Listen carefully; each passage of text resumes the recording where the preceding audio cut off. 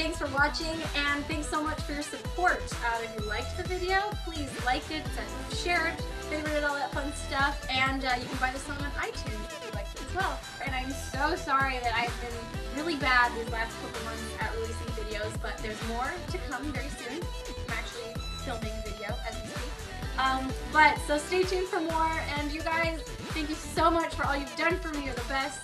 Keep spreading the Lindsey love.